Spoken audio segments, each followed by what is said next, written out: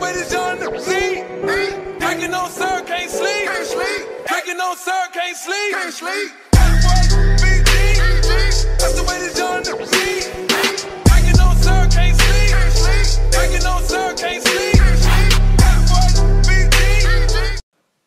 Tout le monde, j'espère que vous pétez la forme. Aujourd'hui on se retrouve pour une toute nouvelle vidéo sur One Piece et dans cette vidéo on va parler du retour d'Ener. Bon avant de commencer cette vidéo, je voulais vous dire que j'ai commencé le script de cette vidéo il y a très longtemps. Mais quand j'écrivais cette vidéo, il y avait déjà beaucoup de théories sur ce sujet qui sortaient. Donc j'ai décidé de repousser le script de quelques mois, histoire que tout le monde finisse de copier les uns sur les autres pour enfin faire une vidéo là-dessus. Bien sûr, voilà, je plaisante les gars, voilà, je ne vise aucun youtubeur. D'ailleurs j'ai kiffé leur vidéo sur ce personnage. Bref, passons à cette vidéo.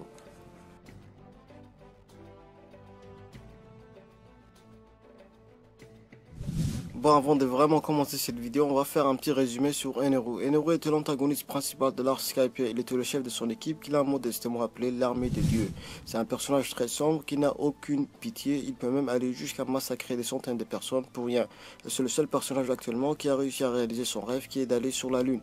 Bon, voilà, c'est un petit résumé certes de ce personnage, mais tout le monde le connaît. Et si tu ne le connais pas, ben mon frère Ener, c'est la base. Ce que je vais faire dans cette vidéo, je vais la couper en trois parties. La première, je vais vous convaincre qu'Enero va revenir. Dans la deuxième partie, on va parler de son pouvoir, plus précisément de son fruit du démon. Et finalement, je vais vous parler de son retour dans le monde de One Piece. Maintenant, je vais vous convaincre qu'Enero va revenir. Premièrement, c'est grâce à son fruit du démon. Le fruit du démon d'Enero, c'est-à-dire le Gorogoronomi, est un fruit du démon archi-cheaté. Limite, il est parfait. Et donc, le donner à un personnage qui ne va plus refaire son apparition, ben je pense que c'est bête. Oda ne va jamais donner un fruit du démon comme celui d'Ener à un personnage qui ne va plus refaire son apparition, c'est logique. Et la deuxième raison, Oda sait très bien que ce personnage a une fan base énorme. Dans le Weekly Shonen Jump fait en 2014, on a pu voir qu'Enero est classé à la 48e place, chose qui est énorme. Quand on sait que des personnages tels que Monkey D. Garp, Kuma et Vista sont derrière lui, ben c'est énorme. Bref, Oda n'est pas con, il sait très bien qu'en créant un personnage comme lui, il allait lui attirer beaucoup de fans.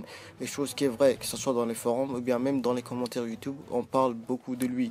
Maintenant, on va un petit peu parler de son fruit du démon. Enero a mangé le Gorogoronomi qui lui donne le pouvoir de contrôler l'électricité. Il peut faire n'importe quoi avec ce fruit du démon, comme envoyer des charges qui dépassent les millions de volts? Il peut entendre n'importe quelle conversation. Dans Skypia, ça nous montre que son acquis de l'observation à l'époque était énorme. Alors imaginez quel stade il a pu atteindre maintenant s'il s'est vraiment entraîné. Dans le SBS volume 43, un fan demande à Oda si Ener tombait sur les mers d'en bas, à combien s'élèverait le montant de sa prime, et puis que deviendrait le monde, est-ce qu'il établirait son règne dessus? Oda répond, vu le danger qu'il représente, sa prime dépassera sûrement les 500 millions de berries. Déjà à cette époque, Ener pouvait avoir la même prime qu'à Luffy en ce moment. Alors imaginez 5 secondes de combien cette prime va augmenter s'il s'est sérieusement entraîné. Mais par contre, Luffy reste et restera son plus gros point faible. Bien sûr, je sais que la prime ne reflète en rien la puissance du personnage, mais pour Ener, c'est sa puissance. Vu qu'il ne détient pas de secrets contre le gouvernement mondial et qu'il ne cherche pas à les battre aussi, comme le font les révolutionnaires. Bref, maintenant on va parler de son retour. Je vous avais dit dans ma vidéo le prochain Nakama que Enoro va sûrement faire partie de l'équipage d'Embigura. Et bien sûr, je continue à penser ainsi. Mais parce qu'il y a un mais aussi à cause de son arrogance, il y a une chance qu'il décide de ne pas rejoindre les Miguara, vu qu'il s'est fait battre par Luffy, et ça peut être une raison pour laquelle il ne va pas rejoindre les Miguara, à cause de son arrogance. Quand Enero est allé sur la Lune, il a découvert, et on a aussi découvert pas mal de choses vraiment intéressantes. Par exemple, on a appris que la piraterie dans One Piece ne s'arrête pas que sur le monde de One Piece. Dans l'espace, il y a des pirates aussi qui sont appelés les pirates de l'espace. Et moi, je pense que c'est vraiment très intéressant, parce que j'ai remarqué qu'Oda veut nous montrer que la piraterie peut vraiment aller très très loin. Et de se faire revoir Enero en étant un pirate venu de l'espace ne m'étonnerait pas. Et je dirais même, je trouverais cela normal, parce que ça rapporterait un truc nouveau dans One Piece. Et je pense que sa flotte va être constituée d'espaciers qui sont des petits robots qui vivent sur la Lune. Ils ont été créés par le professeur Tsukimi qui lui est mort à cause d'une explosion qui l'a fait étouffer sa bouffe. Moi, à part cette mort ridicule, j'ai vraiment trouvé cette mini-aventure très intéressante. Et pour ceux qui n'ont pas lu cette mini-aventure, je vous le conseille de le lire. Et encore une fois, c'est vraiment, vraiment intéressant. Maintenant, revenons sur la flotte d'Ener. Les automatons ont des pouvoirs qui ressemblent à ceux d'Ener. Ils peuvent se déplacer très rapidement et peuvent lancer des boules électriques. Donc ça renforce encore le fait qu'Ener va avoir les automatons dans son équipage, vu qu'ils ont à peu près les mêmes euh, pouvoirs. Et qui plus est, ils sont très dévoués pour Ener, qui les a sauvés contre les pirates de l'espace.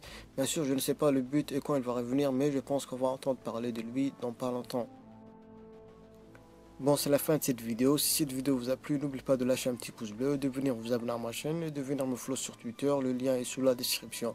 Sur ce, les Nakama, ciao